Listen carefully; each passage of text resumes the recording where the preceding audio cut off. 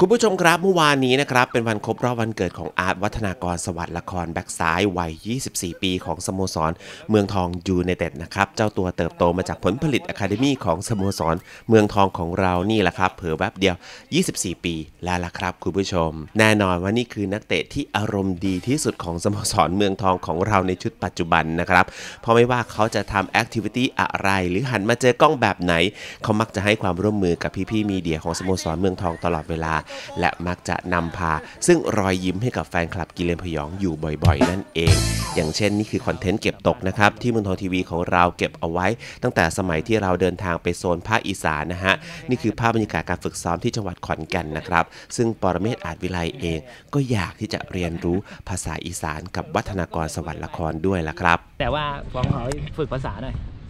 มาขอนแก่นรู้สึกยังไงครับ อากาศบรรยากาศก็ดีเนาะ ดีบ้าบ้างงว่าบ่ล่ะแมนแม่นเอามันเริ่มมันพูดได้เยอะแล้วพี่เหรอมันเพราะมันมีอีสานหลายคนแล้วไงตายแล้วเลิกแล้วแม่เลิกแล้วแม่ตอนแรกอะก็พูดไม่ค่อยได้เลยพี่แต่พอหลังๆได้อีสานตั้งแต่ไปอุดรนานแล้วนานแล้วพอนานแล้วนานโอ้ยงานสิเลยตอนนั้นมาอุดรใหม่ๆอะนานแล้วอุดรเป็นไงอุดรอย่างนี้ ไม่อะบรรยากาศที่อุดรดีอะนี่อะคล้ายๆขอนแก่นขอนแก่นดีบรรยากาศดีพี่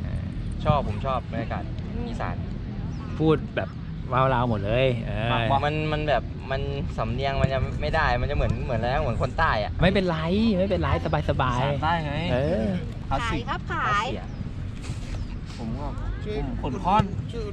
พอมันทุ่มค้อนแก้นค้อนแก้นตายแล้วบนหน้าแล้ว บอกว่าเป็นครับ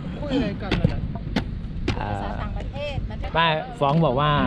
อาจจะไม่ถนัดพูด แต่ด่าเลยถนัดเลย ใช่มันชอบด่าผมอย่างเช่นปักคุ้ยอย่างเงี้ยปักคุ้ยอย่างเงี้ย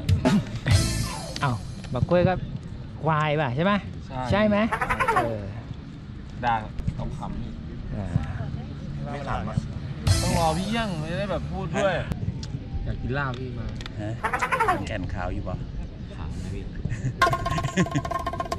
ขาวไม่ขาวแต่เห็นพี่นายเออ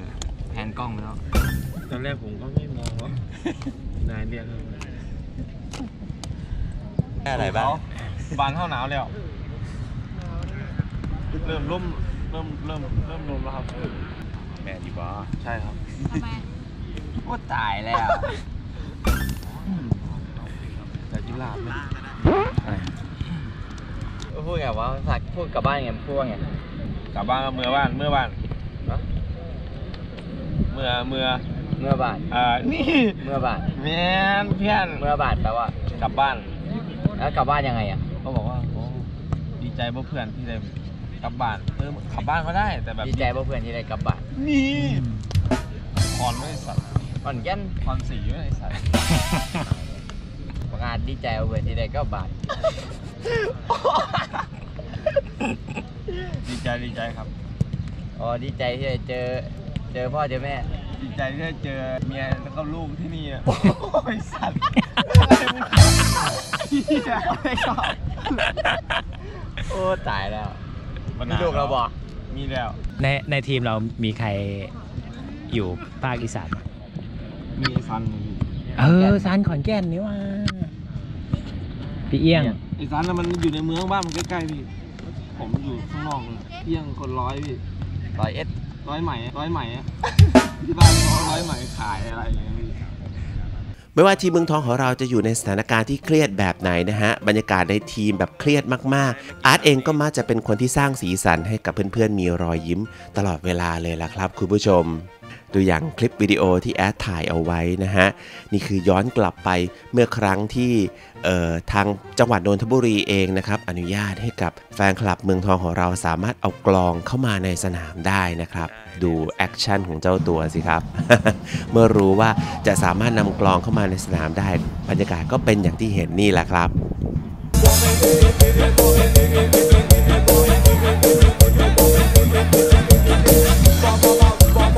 ก็หวังว่าปีที่เดินทางมาถึงนะครับ เดี๋ยวอีกประมาณสัก 20 กว่าวันนะฮะสโมสรเมืองทองก็จะเรียกนักเตะไทย player เนี่ยเข้ามาทำการ training ทำการฝึกซ้อมแล้วล่ะครับเพื่อเตรียมทีมใน season ถัดไป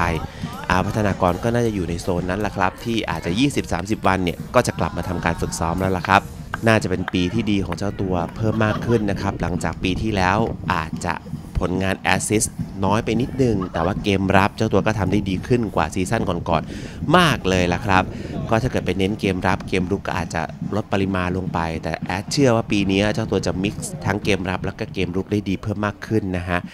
โอ้24 ปีละน่าจะเป็นกำลังหลักของสโมสรกิเลนผยองของเรายาวๆครับใน season ที่เดินทางมาถึงก็ happy birthday ย้อนหลังให้กับเจ้าอาร์ตวัฒนากรณ์สวัสดิ์ละครด้วยนะครับ